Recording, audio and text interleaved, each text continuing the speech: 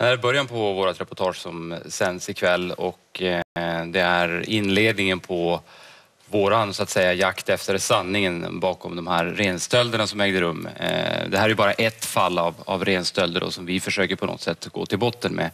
Eh, men det är ju ganska vanligt förekommande. Vi pratade med alla Sveriges samebyar och hälften av dem upplever problem med det som kallas för renstölder. Mm. Då ska man säga att renstölder känns som ett väldigt sådär förringande ord. Det juridiskt heter det renstölder. Men egentligen handlar det ju om brutal tjuvjakt. Det kan ju handla om att man kör över dem med skotrar och... Ja, Varför? Så, ja, men... Eh, det kan ju finnas många orsaker, men en är såklart att man vill komma åt köttet, precis som med vilken annan tjuvjakt som helst. Det är, det är dyrt och exklusivt kött som förmodligen säljs någonstans, men det har inte vi liksom gått, gått vidare med. Men sen är det också... Eh, renen vistas ju runt omkring i skogen och är ganska lätt att hitta och alla renar tillhör ju renägare, så det är också en väldigt så här man respekterar inte eh, andra människors egendomar som det handlar om i det här fallet. Det är ju, det är ju djur som tillhör renägare och det finns en väldigt sån, eh, ja, att man inte respekterar det överhuvudtaget. Hur skulle du säga att det här som vi pratar om nu, ren tjuvjakt och så vidare, hänger ihop med det som vi kallar för samehatet? Ja, men eh, vi tänker lite grann så här att eh, när polisen i princip aldrig får tag i dem som gör det här då kan de här fördomarna och ryktena och, hatet fortsätta att spridas. För att ofta så handlar det om att människor, många människor uppe i norra Sverige tror så här att nej, men det är samerna själva som har slagit ihjäl dem där för att få ut bidragspengar. Det framgår också i, i reportaget. Och då, då tror vi så här att ja, men då kan de här fördomarna och myterna leva kvar och hatet liksom fortsätter att, att finnas som har funnits sedan urminnes tider. Liksom. Nyheterna visar en del Kalla fakta också där, där en polis medverkar där man känner när man tittar på det att de struntar i det här. De vill inte utreda. Varför, är det, varför känns det så? Ja, men det är också så här att det, det är jättestora områden. Eh, Gällivare kommun är stort som, jag vet inte, Östergötland och Småland tillsammans eller någonting till ytan. Det kanske finns en polispatrull på plats per, per skift eller någonting.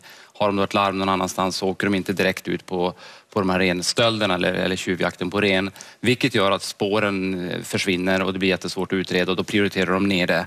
Uh, och det är väl en förklaring och sen om det finns underliggande faktorer, det, det kan inte jag liksom säga säkert. Nej, men jag skickar den eh, passningen mm. vidare till dig Maxida, det här med underliggande faktorer. Vad, vad, vad, känner du eh, från ditt håll inför, inför polisen? Inför polisen? Ja. Um, jag vill gärna tillhöra de som inte dömer ut alla poliser.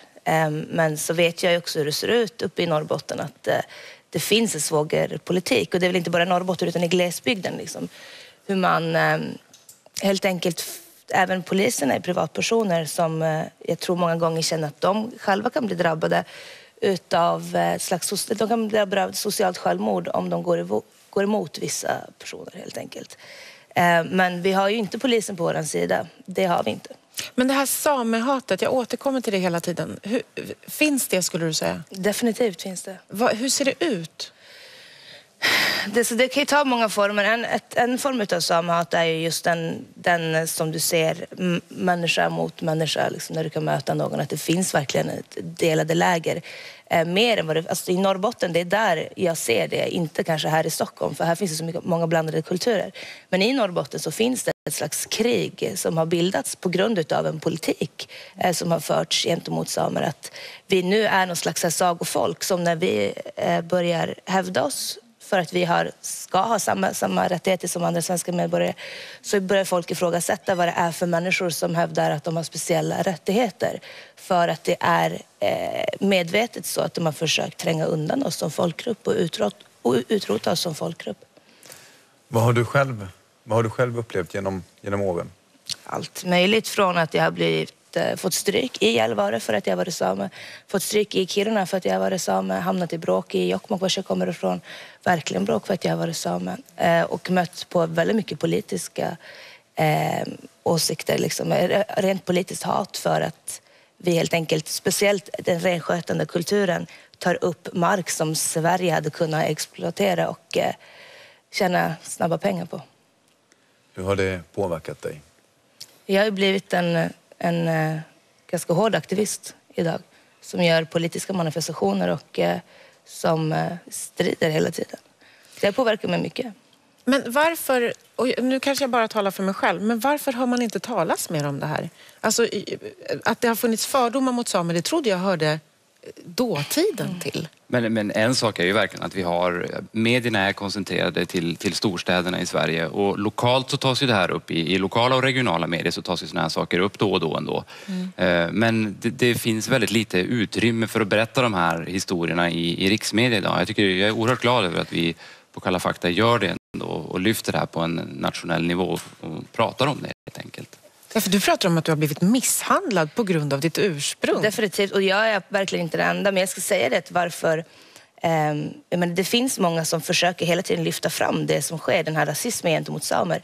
Men det blir alltid stoppat innan det kommer ut i media. Det är på TV4 också, på SVT så gick det en film för några år sedan där någon djurrättsorganisation hade klippt ihop en massa klipp på hur renskötseln gick till som har fått, fått det att se ut som en misshandelsfilm, alltså som att vi var djurplågare och plågade djuren. Och den visades på alla kanaler, det var värsta Youtube-grejen YouTube och så fort jag gick in och kommenterade det och försökte förklara vad det är de ser på filmen så togs det bort. Det lyftes inte upp.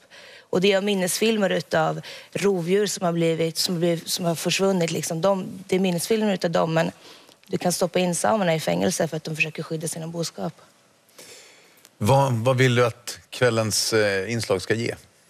Nej, men jag hoppas att, vi, att det blir en ordentlig debatt och diskussion kring just det hat som finns mot samer i framförallt norra Sverige. Och, och det, I reportaget så säger en renägare också att det måste till en attitydförändring. På det, på det sättet kan man också påverka kanske polisen att de känner sig tvingade att använda de resurser de har för att faktiskt utreda de här brotten också. Det går lite hand i hand det här med mm. att få fast de skyldiga och att jobba med attityderna faktiskt. Mm.